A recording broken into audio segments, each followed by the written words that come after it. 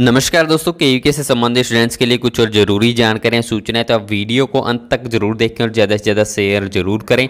और जो साथी टेलीग्राम पर जुड़ना चाहते हैं डिस्क्रिप्शन बॉक्स में प्रोवाइड करवाए गए लिंक के ज़रिए टेलीग्राम पर जुड़ सकते हैं।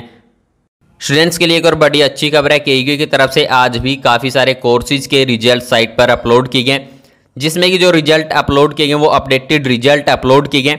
BA part two B part three B part one B part two B part three P G M A Hindi final previous M C A third year इनके रिज़ल्ट अपडेट करके site पर upload किए गए तो जो भी संबंधित courses के स्टूडेंट है, वो एक बार अपना रिज़ल्ट चेक करके ज़रूर बताएँ कि क्या वाकई में आपका रिज़ल्ट अपडेट हुआ है, या फिर पहले की तरह ही आपका रिज़ल्ट ज्यों का तो दर्शाया जा रहा है तो इस बारे में आप सभी अपनी राय ज़रूर दें। अपना रिज़ल्ट चेक करके ज़रूर बताएँ कि आपका रिज़ल्ट क्या दिखाया जा रहा है, इस बारे में अपनी अपनी राय ज़रूर दें। और उम्मीद है कि कुछ और कोर्सेज के रिजल्ट्स जल्द देखने को मिल जाएँगे।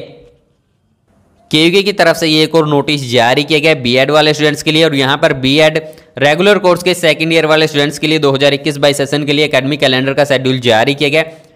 और यहाँ पर बताया गया कि जो टीचिंग टर्म रहेगी सत्ताईस नौ दो से दस छः दो तक, उसके बाद जो थ्योरी एग्ज़ाम शुरू होंगे पंद्रह छः दो से शुरू होंगे और जो क्लासेज होंगी सत्ताईस नौ दो से ऑनलाइन ऑफलाइन मोड में सिचुएशन के अकॉर्डिंगली कंडक्ट करवाई जाएँगी, लगेंगी। जो शेड्यूल होगा फ्रेश कैंडिडेट्स के लिए जो एकेडमिक कैलेंडर का शेड्यूल होगा, वो बाद में जारी किया जाएगा। और अगर टीचिंग डेज़ कंप्लीट नहीं हो पाते, यानी कि 200 दिन अगर कंप्लीट नहीं हो पाते हैं टीचिंग के तो उस केस में प्रिंसिपल्स को ज़िम्मेदारी दी गई है। उनकी ज़िम्मेदारी है प्रिंसिपल्स की कि वो एक्स्ट्रा क्लासेज का अरेंजमेंट करवाकर जो लॉस हुआ है पढ़ाई का, उसको पूरा करवाएँ। और इस नोटिस की कॉपी इन सभी को भेजी गई है।